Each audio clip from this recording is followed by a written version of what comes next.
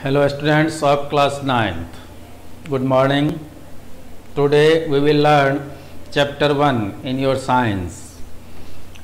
Matter in our surroundings. हमारा first chapter का नाम है कि मैटर इन आवर सराउंडिंग हमारे आसपास जो पदार्थ होते हैं ये मैटर हैं अब जैसे साइंस की भाषा में देखें तो मैटर क्या होता है तो पहले हम एग्जांपल लेते हैं कि अपने आसपास आपने डिफरेंट टाइप्स जो थिंग्स हैं, इसको देखा होगा। इसके अलावा जब हम आकाश की तरफ़ देखते हैं तो हमें आकाश में रात के अंदर तारे भी दिखाई देते हैं, चंद्रमा भी दिखाई देता है। दिन में सूर्य दिखाई देता है।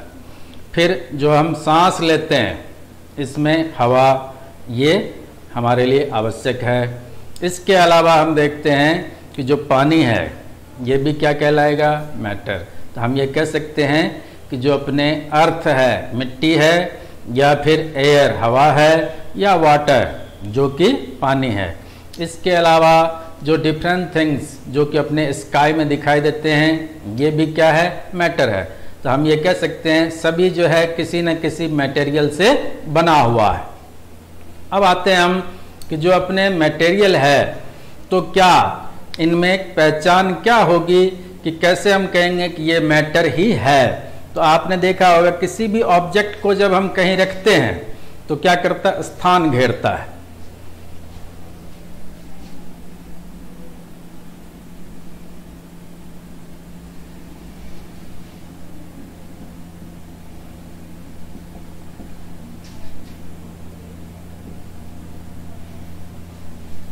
Matter occupies space.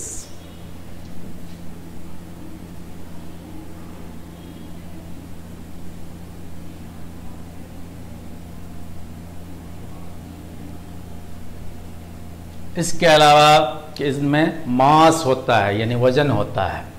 अर्थात हम ये कह सकते हैं इसमें वॉल्यूम भी होता है।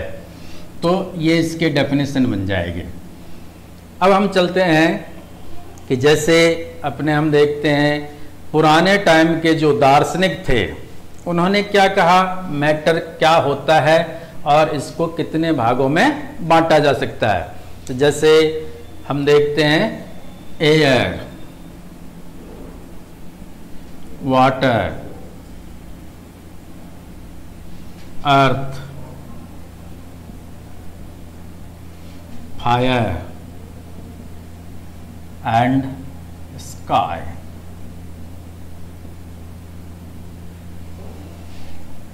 ये फाइव थिंग्स हैं, जो कि मैटर के अंदर पुराने फिलोसफर के अनुसार इनको क्लासिफाई किया गया है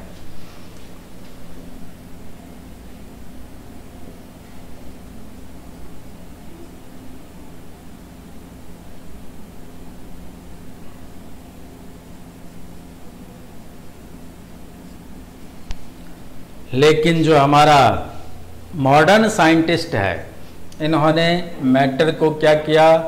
मुख्य रूप से दो आधार पर डिवाइड किया है। वो है फ़िज़िकल और केमिकल बेस तो हम देखते हैं पहले कि जैसे यहाँ पर फाइव थिंग्स हैं, ये फाइव थिंग्स आपको लगभग सभी चीज़ों में मिलते हैं देखने के लिए। जहाँ तक कि हम देखते हैं हमारा जो शरीर बना हुआ है ये भी इन पाँच तत्वों से मिलकर के बना हुआ है। तो इनको पाँच तत्व यानी फाइव और तत्व लिखा गया है। यह है क्षितिजल पावक गगन समीरा। अब देखिए, जो अपना मॉडर्न साइंटिस्ट है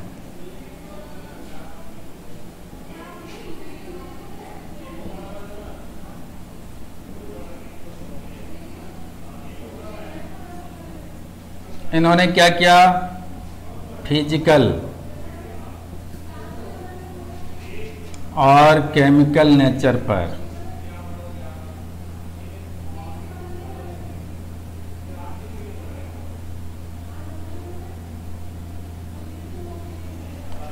इन दो बेस पर इसको डिवाइड किया है। तो अब हम चलते हैं मॉडर्न साइंटिस्ट के अकॉर्डिंग जो पहला पार्ट अपना फ़िज़िकल नेचर तो फ़िज़िकल नेचर में आप देखते हैं कि कोई भी एलिमेंट्स जो है, या फिर उसका कंपोनेंट है, या कंपाउंड है, या मिक्सचर है तो सबको मिला करके हम मैटर बनाते हैं। तो मैटर जो है, इसका क्या होगा? आप देखेंगे सॉलिड लिक्विड या फिर गैसेस फॉर्म में पाए जाते हैं। ये इसका फ़िज़िकल स्टेट कहलाएगा फ़िज़िकल नेचर भी कहलाता है। लेकिन आपने कभी गौर किया है कि जितने भी मैटर है, यदि इसको हम बहुत गहराई से देखते हैं, बहुत ही स्मॉल होता है। इतना स्मॉल जिसके बारे में हम कल्पना भी नहीं कर सकते हैं। अब आता है कि जैसे आप इनके मैटर के पार्टिकल्स को देखेंगे, जैसे नमक है, बहुत छोटा दिखाई देता है, लेकिन उसको भी हम यदि पीसते हैं तो और महीन हो जाएगा। इसका अर्थ क्या है कि इनमें जितने भी स्मॉल कर सकते हैं, बहुत स्मॉल होते हैं और उनको आपको माइक्रोस्कोप से देखना पड़ता है। जब हम माइक्रोस्कोप से देखते हैं, जो मैटर के पार्टिकल्स हैं, उन पार्टिकल्स में आपको दिखाई देगा बीच बीच में खाली जगह होता है।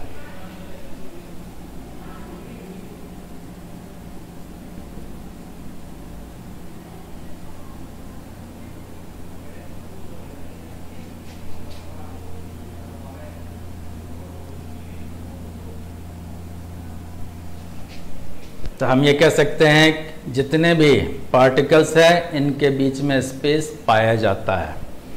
अब आता है कि जैसे हम देखते हैं, यदि स्पेस है तो आप और भी गौर करेंगे तो जितने पार्टिकल्स होते हैं, ये कंटिन्यू मूव करते रहते हैं।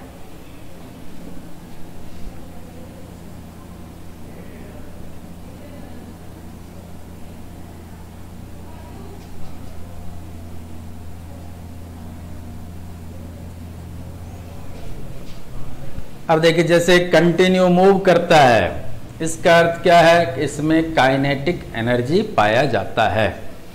आप यदि किसी भी लिक्विड को, जैसे हम दूध को गर्म करते हैं या पानी को गर्म करते हैं तो गर्म करने पर आपने देखा होगा कि इसमें उबाल आता है। उबाल आया, इसका मतलब क्या हुआ? मूविंग है। तो जितने भी इसके अंदर पार्टिकल्स हैं, ये मूव करना प्रारंभ कर रहा है। और जितना आप इसको गर्म करते हैं उसमें काइनेटिक एनर्जी क्या होगा? बहुत तेज बढ़ जाता है। तो इसके कारण से मूविंग फास्ट हो जाएगी। यहाँ तक आपने यदि समझ लिया है तो इसको मैं रब करता हूँ। बाकी सारी चीज़ें नोट्स में आपको मिल जाएँगे।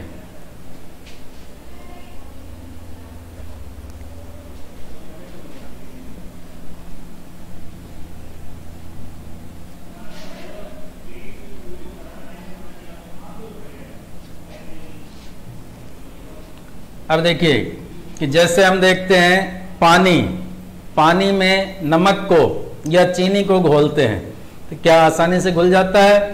तो हम कहेंगे नहीं। उसको घोलने के लिए हमें मेहनत करना पड़ता है। लेकिन यदि हम पानी में दूध को मिलाते हैं तो बहुत ही आसानी से मिल जाता है। इसके अलावा आप देखते हैं कि जो पानी है तो पानी में रहने वाले जो एनिमल्स हैं, जैसे फ़िश या प्लांट्स होते हैं, इनको ऑक्सीजन प्राप्त होता है। ये कहाँ से है? एटमॉस्फेयर से जो ऑक्सीजन आता है, वो पानी में मिक्स हो जाता है। तो इंटरमिक्सिंग, इसके अंदर क्या पाया जाता है? इंटरमिक्सिंग, इसको हम कहते हैं डिफ्यूजन।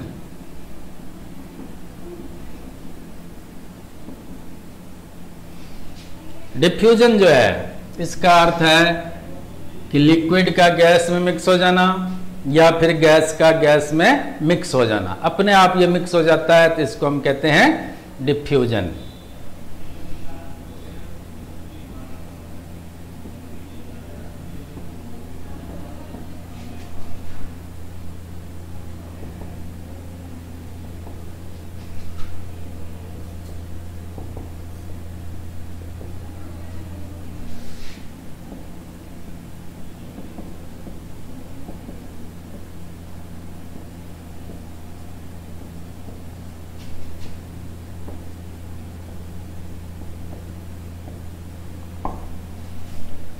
ये कहलाएगा इंटरमिक्सिंग और इस प्रोसेस को आपको याद रखना है डिफ्यूजन कहते हैं हम।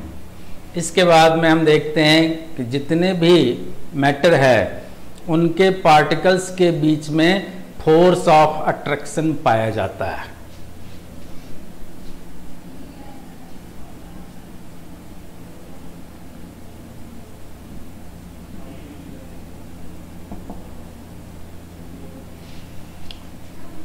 इसका अर्थ यह है कि जो हमने देखा मैटर के पार्टिकल्स यदि उसको आप गौर से देखते हैं तो हम जैसे एग्जांपल लेते हैं सॉलिड सॉलिड में कोई भी चीज़ यदि आपके पास है तो उसको आप देखिए, तोड़ने की कोशिश कीजिए, जल्दी नहीं टूटता है. लेकिन लिक्विड है, यदि हम इसमें ऐसे हाथ चलाते हैं तो कट जाता है वो, अलग हो जाता है.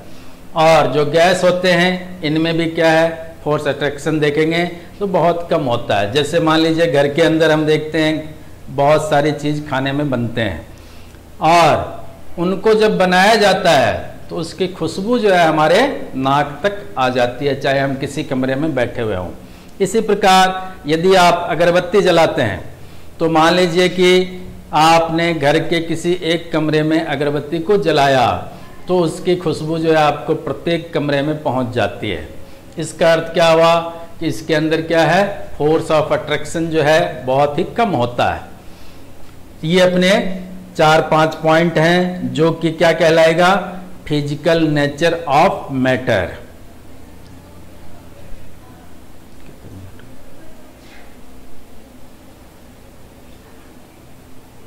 okay thank you इससे आगे हम नेक्स्ट वीडियो में पढ़ेंगे।